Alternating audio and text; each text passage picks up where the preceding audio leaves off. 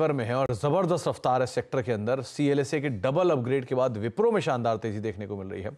पूरी डिटेल लेते हैं। हजदा हमारे साथ मौजूद भी हैं। तो हजदा आज आईटी का टेलविंड भी है और विप्रो में ट्रिगर भी है। अच्छी तेज़ी है सबसे बड़ा जो अंडर परफॉर्मर है उसी में तेज़ी आई है। लेकिन यहाँ पर माहौल भी ऐसा बना है।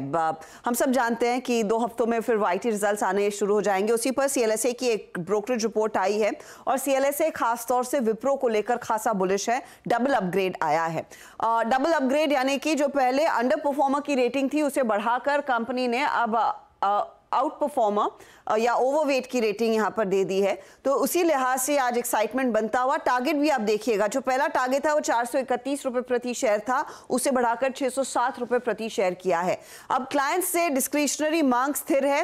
कंपनी ये भी कहती है विप्रो के कॉन्टेक्स्ट में कि एफ़ आई के लिए अब यहाँ से आगे कुछ और रेवेन्यू गाइडेंस में कटौती नहीं होगी। लेकिन जब Q1 के नंबर्स विप्रो पेश करेगा तो Q2 का गाइडेंस आता है। तो कांस्टेंट करेंसी में रेवेन्यू ग्रोथ गाइडेंस Q2 के लिए ज़ीरो टू टू परसेंट के बीच रह सकती है, वो नेगेटिव गाइडेंस नहीं आएगा। वो एक और चीज़ है। साथ ही 500 मिलियन डॉलर का आपको याद होगा Q1 में विप्रो ने एक ऑर्डर बैग किया था। और ये एक पॉजिटिव सरप्राइज़ है लार्जली विप्रो के लिए। बड़ी डील से एग्जीक्यूशन बेहतर होने के आसार बनते दिखाई दे रहे हैं और ये इसीलिए हो रहा है कि कंपनी के जो नए सीईओ है, जो ओल्ड टाइमर है, जो कंपनी का यूएस बिज़नेस संभालते थे, अब कंपनी को हेड कर रहे हैं। उस लिहाज से वो सेंटिमेंट और एग्जीक्यूशन और बेहतर होने की उम्मीद भी है। लेकिन जो बड़ा पॉजिटिव आएगा, वो एक्सपेक्टेशन सीएलएसए इस समय बांधना शुरू कर चुका है कि शायद इस बारी शेयर बायबैक पर भी विप्रो विचार कर सकती है तो वो सोने पे सुहागा होगा। इसीलिए वो डबल अपग्रेड आता हुआ और टारगेट करीब छह रुपए प्रति शेयर का सीएलएसए ने दिया है। स्टॉक आज इंटरडे में अच्छी तेज़ी दिखा भी रहा है।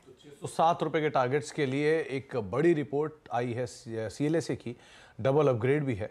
और इम्पैक्ट आपकी स्क्रीन पर है। साढ़े तीन परसेंट ऊपर विप्रो का स्टॉक कामकाज कर रहा है। बहुत बहुत शुक्रिया अजता तमाम डिटेल के लिए। अमित जी, आप कैसे रीड कर रहे हो? आईटी स्पेस में से विप्रो पे तो हम बात करेंगे ही प्लस पूरा मिड कैप आईटी जो कि एक बढ़िया तेज़ी में कामकाज कर रहा है। इन दोनों में क्या करना चाहिए?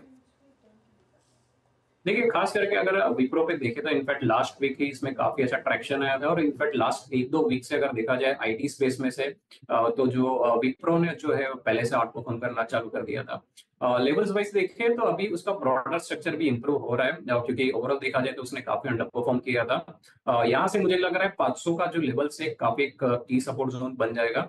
और अपसाइड की बात करें तो ऊपर में 570 से लेके 590 के अपसाइड प्रोजेक्शन है, वो भी खुल रहे हैं। तो थोड़ा भी अगर डीप आता है समवेयर नियर 520 के आसपास इनिशिएट कर सकते हैं बाय पाँचों का स्टॉप लॉस रख के ऊपर में 590 570 तक का टारगेट रख सकते हैं। Okay okay. और मिड कैप आईटी में से कोई नाम जिसको आप आइडेंटिफाई कर पा रहे हो? देखिए कोफोज पे भी ध्यान रखना चाहिए क्योंकि वहाँ पर भी थोड़ा ट्रैक्शन देखने मिल रहा है। थोड़ा एक दो वीक का कंसोलिडेशन था बट इवेंचुअली कंसोलिडेशन ब्रेकआउट जैसा स्ट्रक्चर बन रहा है। तो ऊपर में अगर देखा जाए तो कोफोज में मुझे लग रहा है कि छह हज़ार से लेके छह हज़ार तीन सौ